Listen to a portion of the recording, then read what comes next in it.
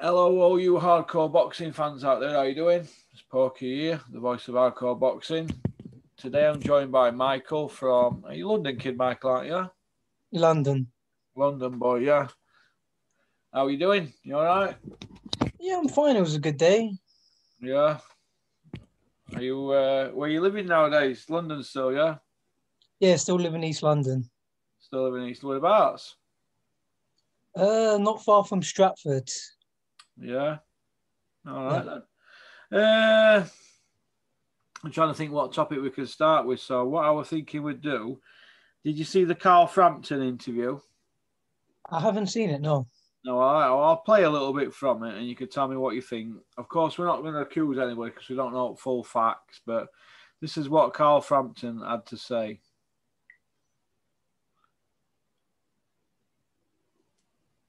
Uh, there's, there's no relationship. I'm just out of a. How is the relationship with the McGuigans now? Oh, it's death. Is it fucked No, now? there's, there's no relationship. I'm just out of a court case with them, um, which was settled. Um, it was so it was settled, so no one can say they won or anything. Mm. But what I can say is I'm very fucking happy with the settlement. Yeah. I can say that. So, um, but there's no relationship. I fucking despise them, all of them, hate them, and um, just just the way it is. It's sad that that, It is always, sad. that always happens though with It happen boxers with and trainers and But when it comes to money and fucking this, people just why is that? Like, yeah, look, I like to think of myself as a nice guy, and I trust everybody, and like I love these guys. Like I had Shane and Jake McGuigan as groomsmen at my wedding. I was a groomsman at Shane's wedding, but so like brothers basically. yeah, yeah, pretty much. Um, but I have a deep hatred for them now, and all of them, and I wouldn't fucking piss on them if they're on fire. I genuinely I hate. Well, there you go. That's Carl Frampton. Uh, obviously, I think the relationships. Uh, I think the relationship between the McGuigan family and uh, and uh, I think the relationship between the McGuigans and Frampton's family has probably gone down a little bit now, but we don't know what's gone on. There's two sides to every story. And I'm not going to sit here slagging Barry McGuigan off because I like him and I like Carl Frampton, and so we don't know full facts. There's no facts been disclosed, has there? They just settled out of court, so can't really say anything. Yeah. Uh, but I don't know. I don't know what to make of it all. To. I think it's sad, isn't it? Really, that it's got to that stage. What do you think, Michael?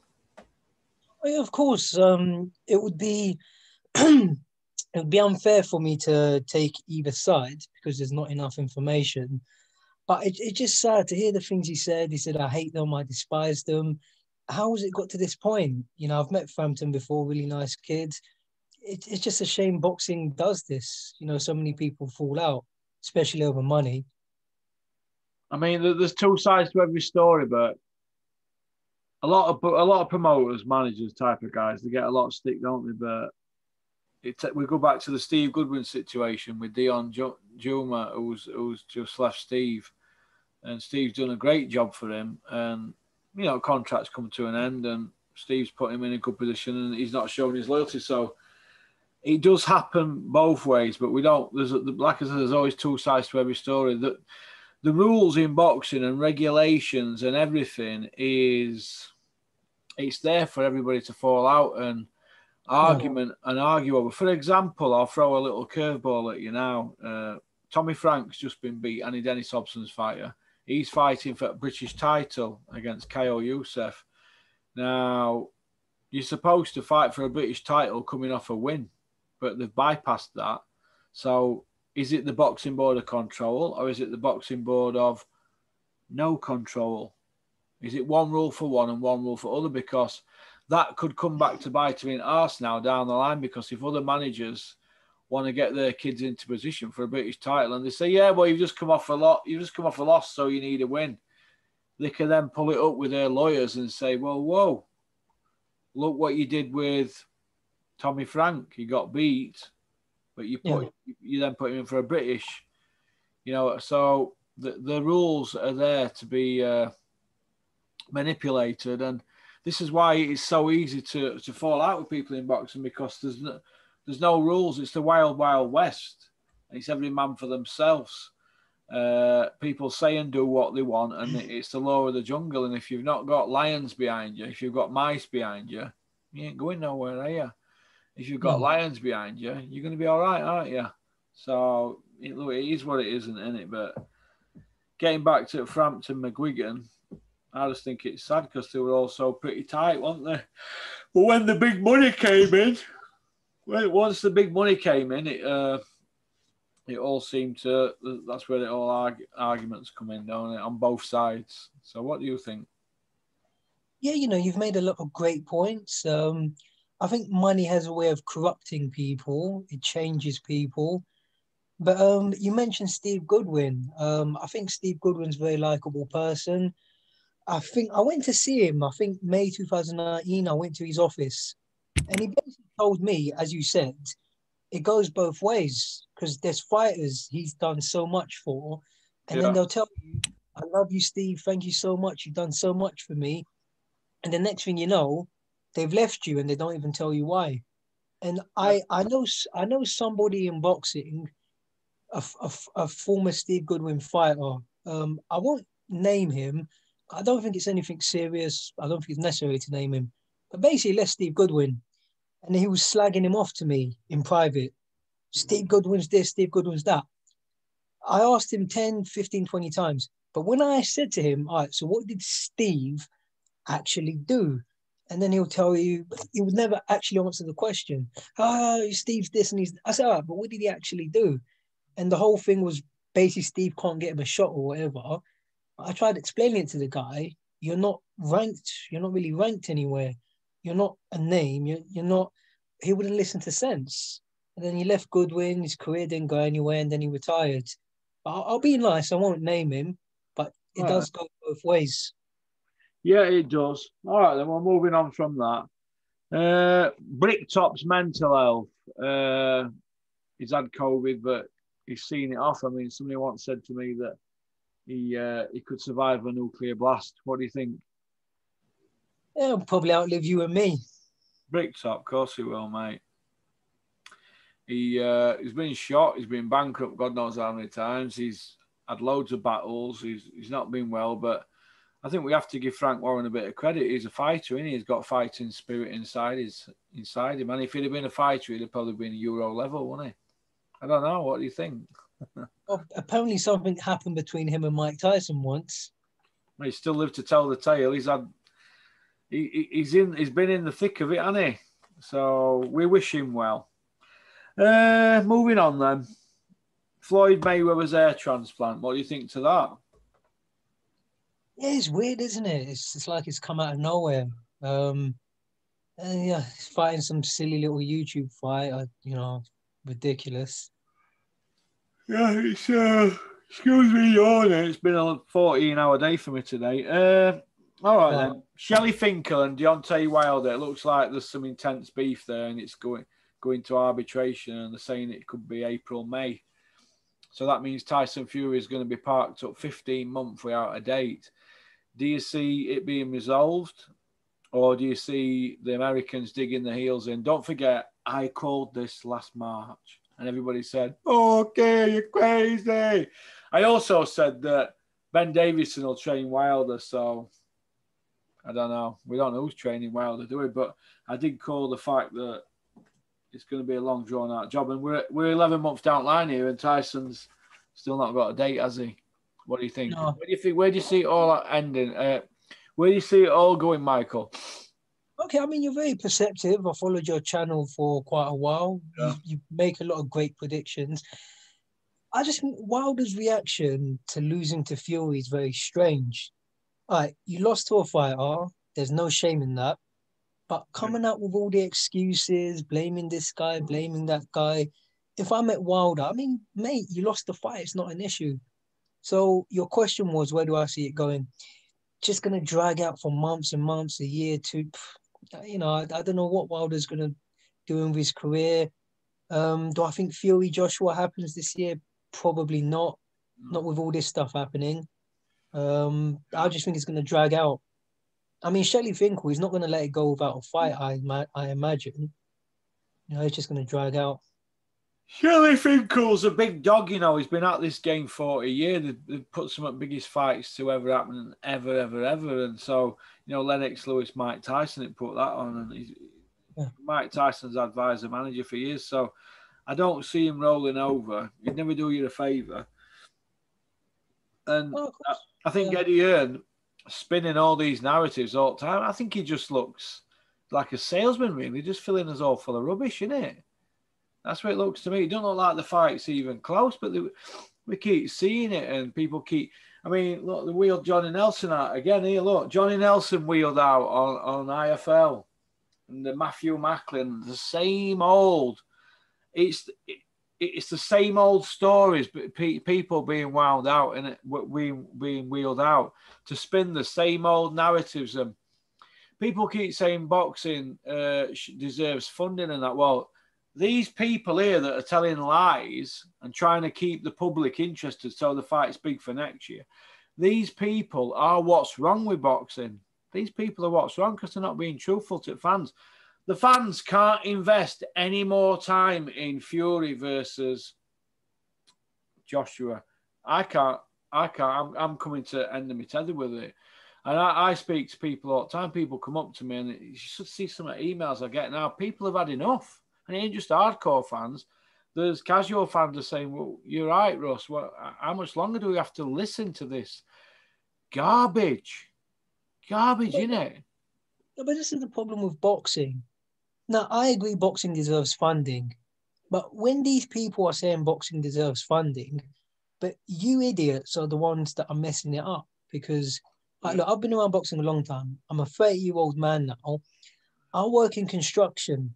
By the time I get home, it's about seven o'clock. I'm not interested in sitting down and watching people like Johnny Nelson and Matthew Macklin and Bean. I don't really want to watch your stupid interviews. All I want to see, just tell me the week of the fight. Tell me the day before. When's Fury going to fight Joshua? Don't sell us these lies. Because the thing with Eddie Hearn, Eddie Hearn con- controls the media, doesn't he? Yeah. he controls yeah. he controls seconds out and he controls behind the gloves and he dictates. He gets- controls four or five YouTubers. They're in his pocket and they know not to go against the grain. I know that because I've heard back off more than one person. I've heard back off people in media, former champions, trainers who are active today. We know what goes on. But the narrative now is out of control and- and it's just the man in the streets, like, they're just as confused as us. And I, I don't think it's fair what's going on. I don't think it's fair at all, mate. I don't think Well, it's, it's, it's, frustrating because I don't look. I've met most people in boxing. I've met Johnny Nelson. I've met Eddie Hearn. I've met Anthony Joshua. I've met Tyson Johnny Fury. Nelson, God, is that eye point? Are you live? Of course not. Of course not. But what I'm trying to say, what I'm trying to say is, I don't really want to hear what you got to say. Yeah. Just put the fight on. But you're you're you're trying to look at any other sport. Other sports, the best compete against the best every year.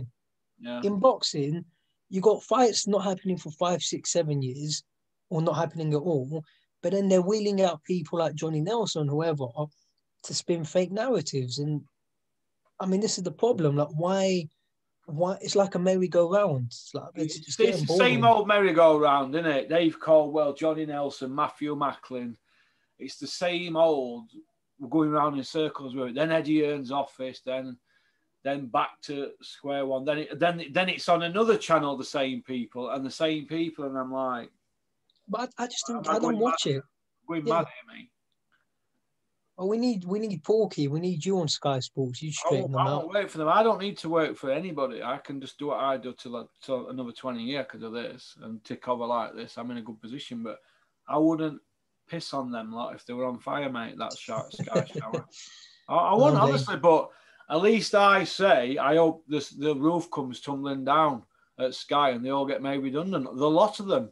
And the, and the, they put new people in. The lot need to go. All the lot of them need to go at Sky. It- It's just getting it's it's getting sad. Bring Paul Dempsey back. Do you know what I mean? Bring people like him back. Uh, Yeah. You know, you know Gabriel Clarke. Uh, look, it, need, it needs Ian Darke. It, it need it needs sorting out because they're pushing this narrative now, and it's pantomime villain stuff, and it, it's crept into it. It didn't at first, but it's crept into it in this last ten year, and it's embarrassing now, especially when I turn my telly on in the night time and I'm chilled out, I sit here with a beer, turn it on, and I look at UFC and what their cards are for weekend, and then I look what they're serving up at Sky, and I'm like, look at rankings on these UFC kids here, and they're all top notch fights, and then look look at what we're what we're what we're being fed. Look at what we're being fed. It's embarrassing, isn't it? But all right, let me give you an example. If you look at football, every time I look on Twitter, uh, it's like every other week, football's trending. There's somebody's played a game, somebody Oh, yeah. scored a goal. Oh, sorry.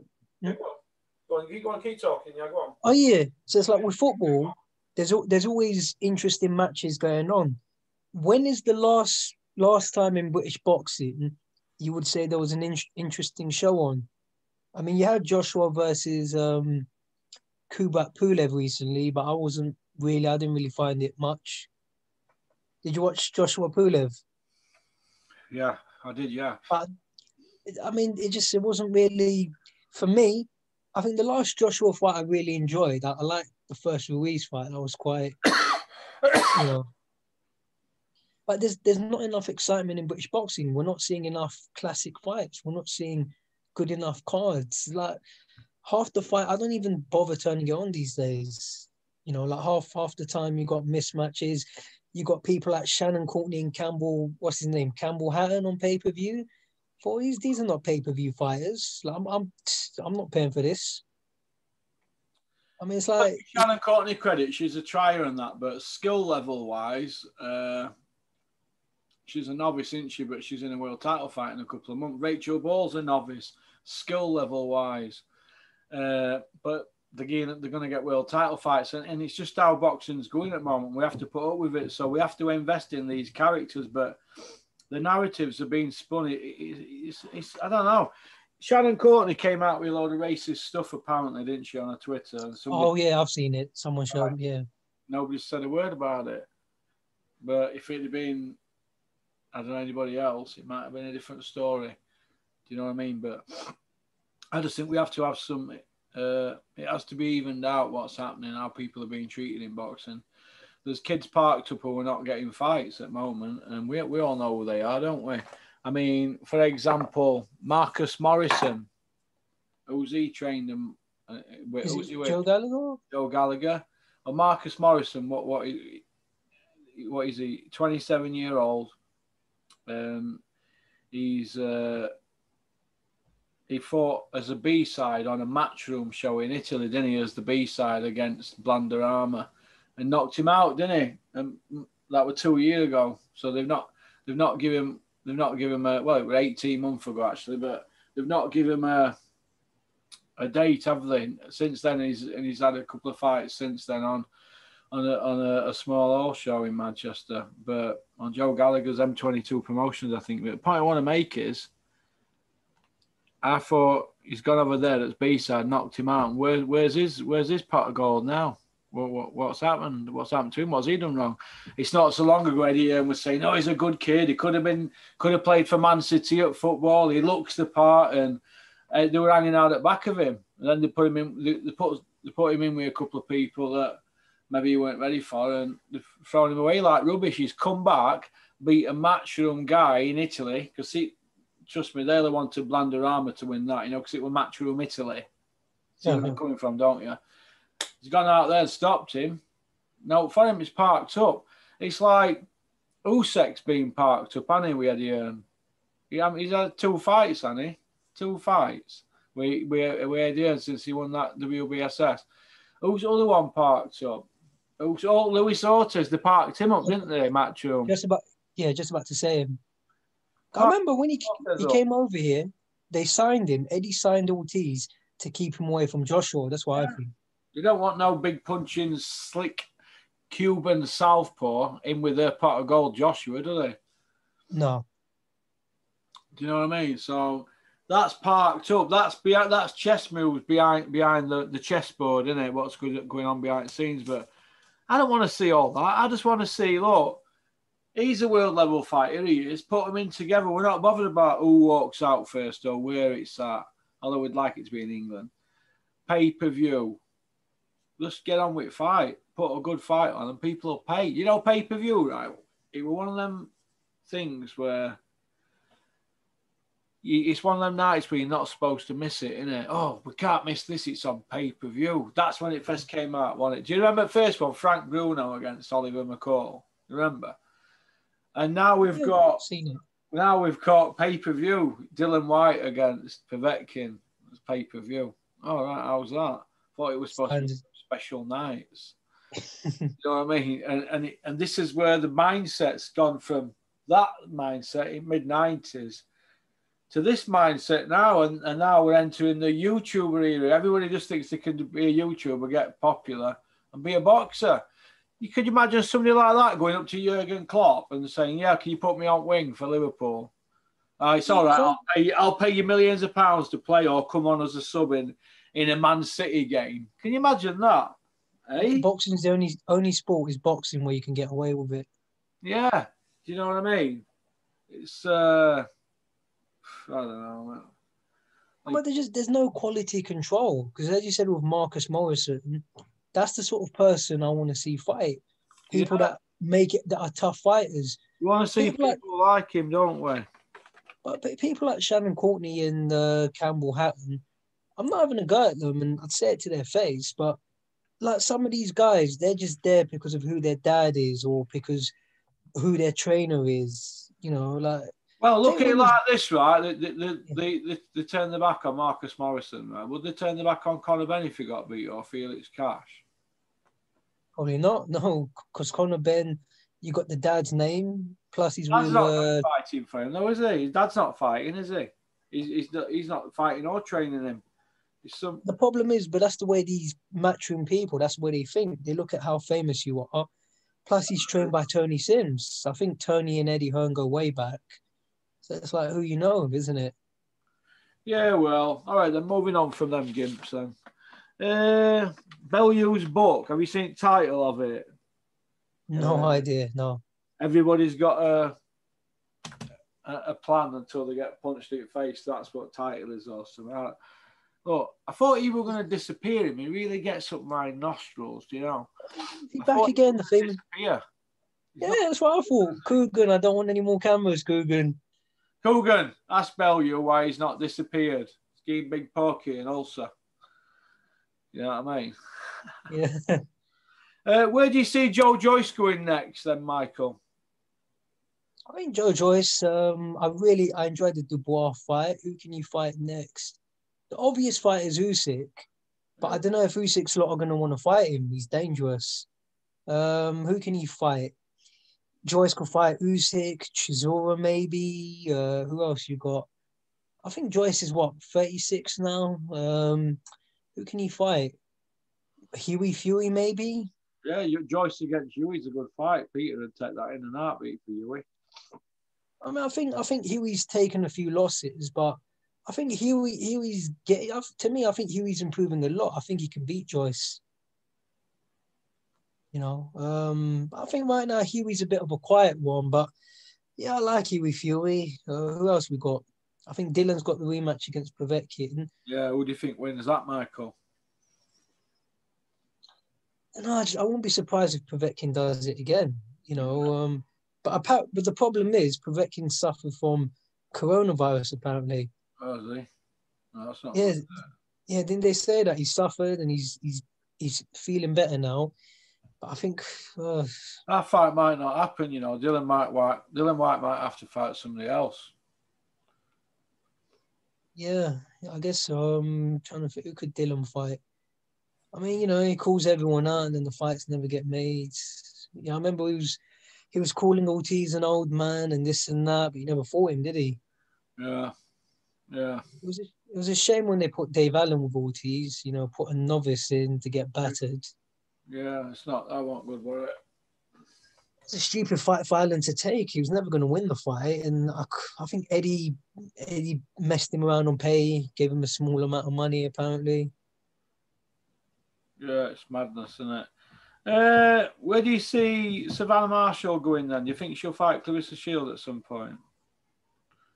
I would imagine so. It's a logical fight. Um, I'm sure they both think they can win. Um, so yeah, I think when both, yeah, so long as both teams won it, I think that fight will happen. Yeah. Um, I think Savannah will beat her because Clarissa, like, she likes to get into people's heads. Like she's a bit of a bully. She she Yeah. gets into their heads. I think the one, oh, I can't remember her name, but the one she fought, the one that was trained by James Ali Bashir. Um, yeah, I guess she's a bit too small for Shields, and I think Savannah, Savannah's big. She's strong, so I think she's she's the only person that can sort of um that that can stand up to Shields, sort of mentally and physically. But yeah, I'll go for Savannah to win that. Yeah, yeah. I would. She's already dealt with her once. Yeah. Savannah. She'll do, she'll deal with you, with you again. Uh, who do you see being heavyweight champion at World in three years from now? With all belts. Um, I mean, I want to say Fury. I think Fury's the best. Tyson Fury's the best. But if you're talking about that longer a length of time, you never know what could happen. You never know who could come out of left wing. But yeah, for for the foreseeable future, I think Fury's. Uh, you know, don't see Joshua beating him. Uh, don't see Wilder beating him. Uh, what's the French guy, Tony Yoka? Uh, don't see him. Yeah, I'd, I'd probably have to say Fury, uh, unless someone comes out of the Olympics or something. I, I don't know. Yeah, you'd have to say Fury. What do you think about uh, Frazer Clarke? Do you think he should turn pro now? Because he's he's knocking on a bit now in GB team, isn't he? Yeah, he, he must. I don't know what he's doing. I mean, he's, he's been in the squad for however long.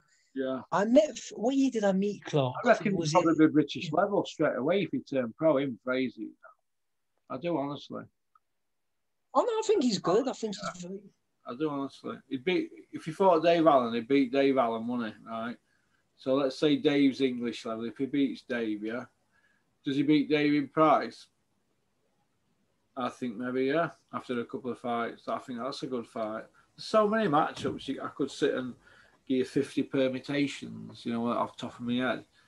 You know, from heavyweights in England, we are having to fly people in and mess about with all these quarantines and tests and all that shit. You know what I mean? no, but he can. They can put him in with um. What's Dillian Whyte's fight off? I forget his name. The heavyweight. Um, oh, Fabio Wardley. that's the one. I can see him beating Fabio Wardley. Yeah, Fabio Wardley's fighting Eric, the school teacher, Marina. Is it Marina? Molina. Marina. Molina. I was Didn't he- didn't Marina then. What's that? Didn't Molina fail a drugs test or something? Apparently. Yeah, yeah, he's pushing 40 year old as well. So I hope Fabio Wardley beats him. Uh, what do you think next for Callum Smith? Um. Yeah, I, I guess I don't know what happened in the Canelo fight, but I, I don't know. Maybe the weights. Maybe he's gonna move up to light heavyweight now. Um, I still, I still think he's got fights in him. You know, um, I, I'm not someone. I don't write fighters off after a loss, so I think he can still continue. Maybe move up to light heavyweight, see what fights there are there. You know, um, but he's still got time. You know, he's only had the one the one loss to Canelo, then the fight before that was John Ryder, wasn't it? Yeah, So maybe you could call it two losses. But yeah, I think Callum Smith has still got some fights out there. yeah, yeah. It's. Uh... What do you think about Callum Johnson against Joshua Buatsi? Um, yeah, you probably have to favour uh, Callum Johnson because um, well, I mean he's a strong guy. Punches quite hard. I saw the Beterbiev fight, put him down. Yeah. Um, but see, this is the thing though. The the problem, the mistake people fans make when Matchroom backs certain fighters, like they're the fighters that stick in your mind.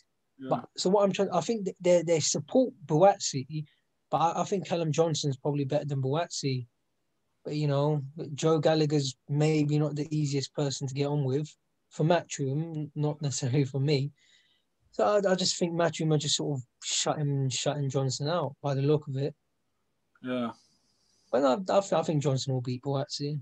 Yeah, I do. I don't rate Buatsi now. We kept hearing all this like these stories that he's like some roadman gangster, but he, he's not, mate. He's uh, He's heading for Skid Row, in my opinion. All that roadman, that stuff, it don't really mean anything. It's what you can do in the ring. I didn't think we, we were thinking you were going to be something like Michael Spinks or something, or weren't we? Or Jersey Joe Walker or something. Like, oh, who's this guy? And when it come down to it, they put him in with a, a guy probably scraping British level, and it were a life and death, wasn't it? Yeah, but again, I I'll be on. I don't really trust anything matchrooms. Like, I don't mind Eddie Hearn. I think he's. You can get on with him as a I don't person. like but. I don't like Eddie and Eddie. I don't like you. At least I'm honest. but listen, I, I wouldn't trust a word out of Eddie Hearn's I don't like him. Why don't you like him? I just think that he's taking Mickey out of it. It's just, I just, I just don't like him. I think he's greedy, mate. Honestly, I think he uses people. And some at matchmaking has been shocking, and he don't care about British fans or people that are fighting and they're failing dope tests. They're not bothered about that. They're in it for money. It's just Well, one Eddie- contradictions, isn't it? Where's this B sample? How can you start crying on TV about people dying in ring and then day after making fights with drug cheese? They're just so fake. You don't get any fake than that, and public keep falling for it, don't they? No, what is with Eddie? Eddie's a very bright guy and he's very media savvy. He knows what he needs to say Eddie. and he knows he knows how to get away with it. Um, uh, what's a good example? He's like a politician. They'll tell you a certain thing. They know what to say in public, but behind closed doors, they do the opposite. But I, I, I wouldn't really trust the word that comes out of Eddie's mouth. But, but he's the dominant man in British boxing. You know, he's, you know, he's, he seems to be bankrupting Mr. Fisher. So, um, Eddie reckons he's an alpha male. Alpha male. Let me tell you this. If, No, I he's took not. Eddie, if I took Eddie Hearn 28 days in a, one of Her Majesty's prisons like Armley or Hull, he'd know what an alpha male was. And in Eddie Hearn, let me tell you. Do you know what I mean? Of course not. Yeah, of course not. No, but with Eddie, Eddie has it all his own way. He's the big money man. He's got all these media channels under his control. Yeah. Um, he's, he's never faced adversity. Like what? What was it? What did he call his book? Relentless. relentless. Yeah, but what do you? What Eddie Hearn is relentless. Yeah, but what? What does that mean? Relentless? Like your dad's. Starring Eddie. Hearn, directed by Eddie Hearn, written by Eddie Hearn, copyright Eddie Hearn. It's like, come on, like the guys. your dad's a millionaire, so what are you on about relentless? I mean, you've inherited the family business. Listen, I'm relentless with my with my with my past. So Eddie Hearn's never seen relentless, mate. Never seen it. You know what I Uh, mean?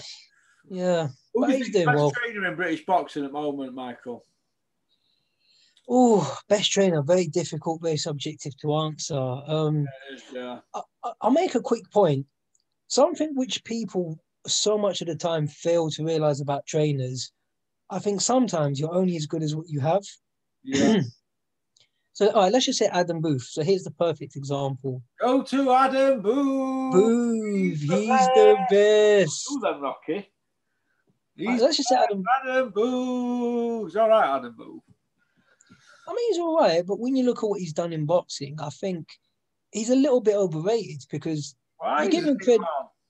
Well, look, you look at who he had. He had David Haye and George Groves. Those those were his two main projects. Cruiserweight undisputed and heavyweight world title and had six pay per views. I think that's all right, that isn't it? No, I'll explain what I mean. Credit where credit's due. I, I respect Adam Booth for that. But remember, David Hayes is a very naturally talented guy. He's a massive puncher. He was knocking guys out in the amateurs. He boxed at a high amateur level. Um, same with pros. David Haye was knocking people out. Same with George Groves. They're they're big, heavy-handed, explosive athletes. Yeah. Now, if you look at so if you can if you compare Haye and Groves to who does Booth have now? He's got Shannon Courtenay and Josh Kelly. They're not really setting the world aflame. No. So I'm, I'm, I'm so I'm not I'm not criticizing anybody. I respect all trainers, but all you Anyway- can do. anyway, in other in other news, Waters wet. Right, we'll move on from that then. There you Uh, go. what, what what about uh, Beefy Smith, Chris Eubank Jr. Do you like that fight, fight, Michael? Does it get your juices flowing? Yeah, I don't mind it. It's an alright fight. Um, yeah, well, but maybe Liam Williams versus Eubank would be nice. Um, it just it'd be nice to see some domestic fights, some nice sort of 50-50. You know, it'd be nice to see. What What would you like to see? Eh? What What domestic fights would you like to see? Oh, I'd like to see Beefy Smith against uh, Eubank. I'd like to see Kell Brook against Beefy Smith. I'd like to see Billy Joe Saunders against Beefy Smith. I'd like to see all them fights. I'd like to see Canelo against Billy Joe, but that's not domestic, is it? But there's some No. some domestic one. I'd like to see Yui against Dillian Whyte or Yui against Joe Joyce, something like that. I'd like to see Yui and AJ, to be honest. AJ against Yui. Eh? Why not? Yeah. Yeah, why not? What about the um? I saw your videos about the old Rob Tebbutt voice notes. Rob Tebbutt recording conversations, Officer Officer Dibble. I know, I Yeah. don't know what I don't know what script is with that, but they've all fell out, haven't they? Tunde, Malcolm X, and Tebbutt, aka Bertie Smalls, they've all fell out, haven't they? Because Bertie put a, a voice text out on Twitter, didn't he, or something? But it's about as low as low as you can get, low life job that, innit? I No, think so anyway. Rob I mean, I can see. low life, come see me. Yeah, I can see it from both sides, but actually, I'll tell you the truth. I heard the voice note because um, a friend of mine called Ryan sent sent, sent it to me on WhatsApp. So I heard it, and then Rob Tebbutt deleted it. Um, so look, I can see it from both sides. But what I would what I would tell Rob Tebbutt, I understand why he did it. He must have felt provoked, but just you know, it's, it's a private message. Like it wasn't that serious. You, you, you should have just kept it to yourself. You know, if you if you Yeah. didn't like it, Right. if, if you didn't like it, just don't talk to Tunde again. But I've listen, I've seen worse in boxing, so yeah, you should have just just take it on the chin. But Took to it down anyway, didn't he? Within a, f- a few hours, got the art of a fucking breadcrumb. it's like you can't even. Yeah, you, you should have at least. breadcrumb. Well, so it looks like he bottled it, but if it was me, I, I wouldn't. Like, you shouldn't have released the voice note. Just don't talk to Tunde again. Yeah, I've seen that happen before, and you know, you, just you, you shouldn't have put it out there. I know, I know. Well, listen, it's been great having you on, uh, Michael. What's your before we go? What's your what's the fight you want to see most in 2021? It won't happen most likely, but it has to be Fury Joshua. Right. Okay, then. Well, listen, no problem. Listen, have you got a Twitter or an Instagram handle or Facebook? Um, yeah, you can. Um, I'll send you the links later if you want. You can put in your video. Um, No, just, I'm, I'm not just going to mess Oh. about because my tech guy. Oh, sorry. I'm just putting them um, out. oh, you- Introductions or anything. So I'm just going to put it out. Just so if you want to speak it on here. yeah, yeah, sure. You can just search my name. Uh, so my Michael Andemeskel, A N D E M E S K E L. yeah. What What's your Twitter? Uh, come under the same. Yeah. So if anybody can make a Taylor he said, that's his Twitter. Are you on Instagram as well, Michael? Yeah, same name. Same name. See on my and how do we spell that again? Michael M I C H A E L. And Andemeskel, A N D E M E M E M E M. A N D E M E S K E L. Right, there you go. Answers on a postcard to Michael. He's uh, London based support his corner, aren't you, Michael? Yeah, mate. I'm just breaking balls with you, mate. It's all right. It's Have a, all right. good, have a good evening. Uh, keep in touch and thanks for coming on. It's just Great. Thanks for your time. we, we thanks for coming on for your day. We will take care. All right, bye bye. Bye.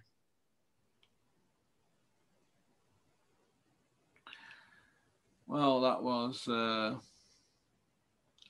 forgot his name now.